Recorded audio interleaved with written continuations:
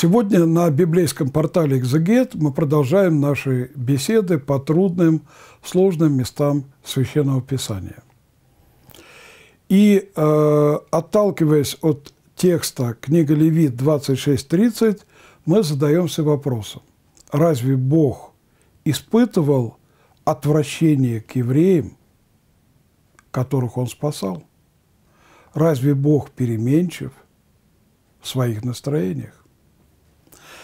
Проблема этого стиха заключается в чем?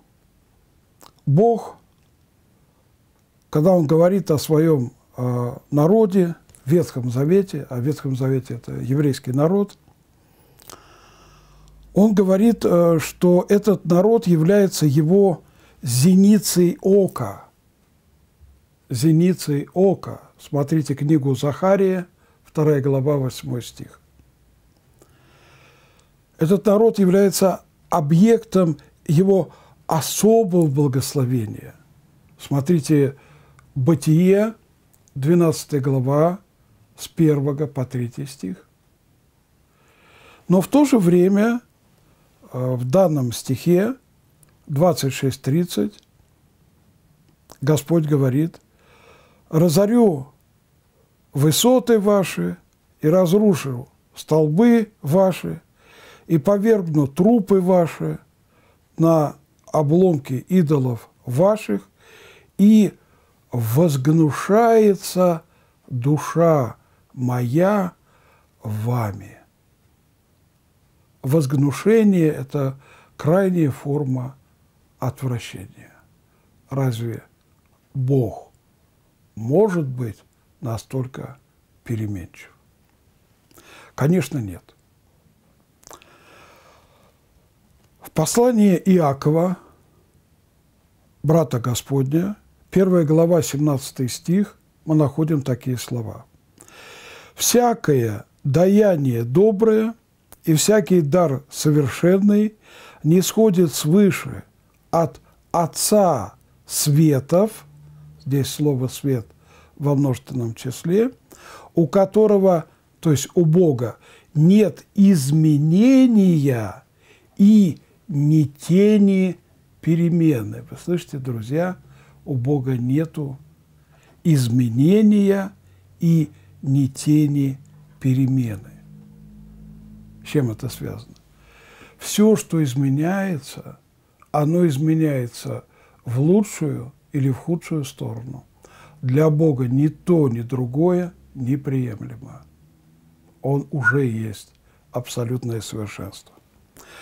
Об Иисусе Христе в послании к евреям, 13 глава, 8 стих, говорится, Иисус Христос вчера и сегодня и вовеки тот же, как Бог – Бога-человек, Иисус Христос в своем божестве неизменен.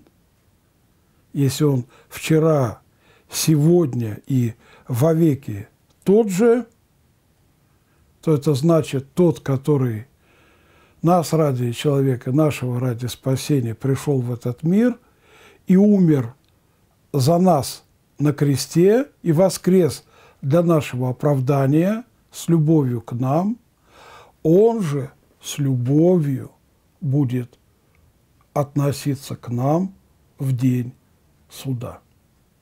Ибо Божий суд не без милости и прежде всего по отношению к тому, кто оказал милость. Таким образом, Бог не меняет свое отношение к нам. Бог ни от кого не удаляется. Это мы своими делами удаляемся от Него, если это дурные дела, и приближаемся к Нему, если это дела благостные. Это мы впадаем в отвратительные деяния, которые мерзость даже в нашем человеческом понимании – а не в том смысле, что Бог настолько переменчив, что сегодня Он так относится к нам, днем, а к вечеру совсем иначе. Такого просто не может быть. Поэтому, когда Писание говорит, э, что вот Бог э, там возгнушался и так далее, это антропоморфизмы, когда Писание рассуждает о Боге в человеческих категориях, чтобы нам легче было бы понять то, что предлагается нам на страницах Священного Писания. Но не более, слышите, но не более того. Таким образом, если мы считаем, что Бог гневается, на самом деле речь идет о том, что мы заслужили гнев с небес. Иногда он бывает даже необходим, чтобы исправить нас. И кого Бог любит, того и наказывает. Действие Бога никогда не связано с каким-то мщением. Он не ревнив, хотя его имя есть ревнив. Он не мстит, хотя есть его имя мститель.